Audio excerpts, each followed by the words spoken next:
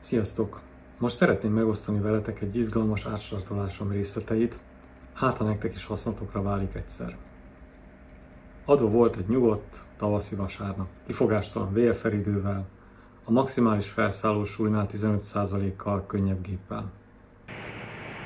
A célrepülőtérhez közeledve észrevettem egy szélkeréktelepet, ahol egységesen délkeleti iránynak megfelelően álltak a turbinák, de egyiknek sem forogtak a lapátjai. Emiatt arra gondoltam, hogy elállt a szél. A reptéren sem légiforgalom, sem földi rádiós nem volt, ezért egyenesen az észak-nyugati irányú pálya távoli megközelítését határoztam el. Szélcsendben ugyanis teljesen mindegy a pályairány, és a pályahoz egy kevés, két-három csomós hátszélkomponenshez is elegendőnek tűnt a tervezéskor. Végső esetben pedig ott volt számomra az ástartolás lehetősége és az ellenkező délkeleti irányban történő leszállás. A távoli egyenesre való behelyezkedés után előbb megkerestem a térképen jelölt távvezetéket, aztán kezdtem csak süllyedni a pálya küszöbre. Bár a küszöbnél már szerettem volna elkezdeni a kilebegtetést, meglepetésemre ott még mindig 3-4 méter magasan voltam. De nem volt időm ezen elmélkedni, mert a gép nagy sebességgel falta a pályát. A pályahoz felénél engedtem a gépet főfutókkal talajt érinteni, de a gép a vártnál energikusabban elpattant, és nem tudott stabilan talajt fogni. Ekkor már aggasztóan közelinek tűnt a pálya végét jelző vörös tábla, annyira, hogy lelki szemeim előtt már megjelent a túlfutás és a géptörés veszélye. Ezért fokozatosan, de határozottan ráadtam a felszálló teljesítményt, stabilizáltam a gépet a pálya felett a párna hatásban, és elkezdtem teljesen behúzni a fékszárnyat. Újabb kellemetlen meglepetésként ért azonban, hogy a gép átesés jelzője, ha halkan is, de határozottan megszólalt és úgy is maradt. Ennyire földközelben nem volt lehetőségem keresni az okát, csak egy gyors pillantással felmértem, hogy a motorparaméterek rendben voltak, és a sebességmérő szerint is gyorsult a gép. Viszont amikor megpróbáltam emelkedésbe vinni a gépet, az átesés jelző még magasabb hangon méltatlankodott, közben meg a fasor egyre gyorsabban közeledett. Ezért köztes megoldásként a gépet a fasorban lévő alacsonyabb fák felett néhány méterrel átemeltem, utána pedig már volt elég hely kíméletesen óvatosan magasságot nyerni. A szerencsés műszerek és a gép viselkedése alapján egyértelművé vált, hogy az átesés jelző beakadt és hamis riasztást ad. Ezután a rádión jelentettem a terület tájékoztató szolgálatának az ástartot, és kértem széladatokat az ő közeli repülőterükről. Ekkor derült csak ki, hogy jelentős 8 csomós hátszélkomponenssel próbáltam leszállni. A korábbi tervek szerint így hát visszafordultam a hosszú falon az ellenkező irányba, onnan pedig teljesen eseménytelenül leszálltam, begurultam az előtérre, ahol az ott levő repülésre készülő pilóták mosolyogva gratuláltak a műsorhoz.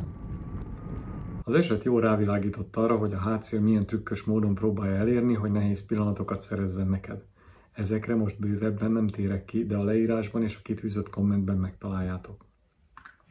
Általános tanulságként elmondható viszont, hogyha a leszálláskor furcsa érzésre támad, úgy érzed valami egyre jobban nem stimmel, akkor ne habozz, szakíts meg és tartoljál még időben. Meddig tudsz még biztonságosan átstartolni?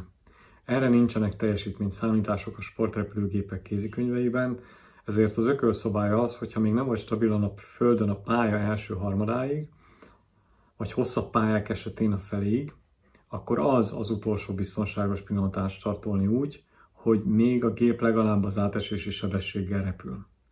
Néhány kisebb repülőtér üzemeltető ezért telepít féltávot jelző táblát a pálya szélére.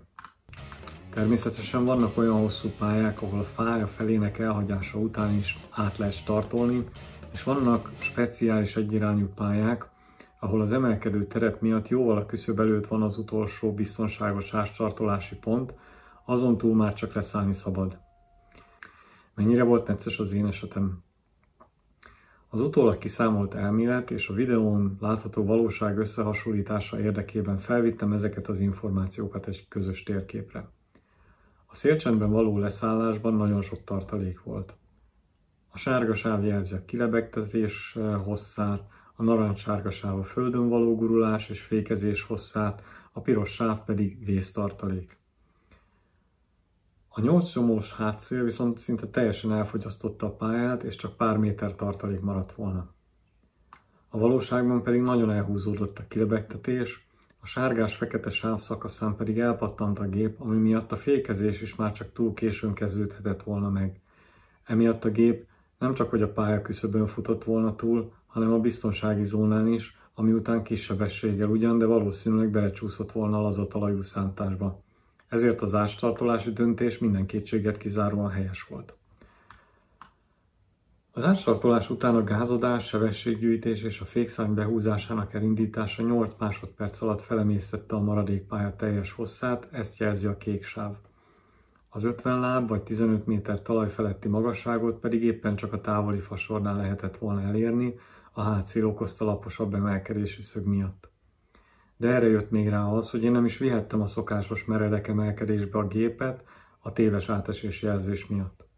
Úgyhogy annak ellenére, hogy kiadták a számítások és kiadta a valóság is, a döntést túl későn, a pálya kétharmadánál hoztam csak meg, pedig az egyharmadánál kellett volna.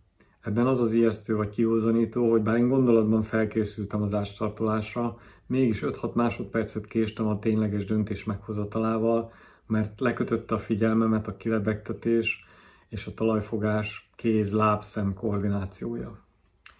Tehát ha jó pilóták szeretnétek lenni, akkor gyakoroljátok a talajérintés előtti levegőben történő ástartolásokat is.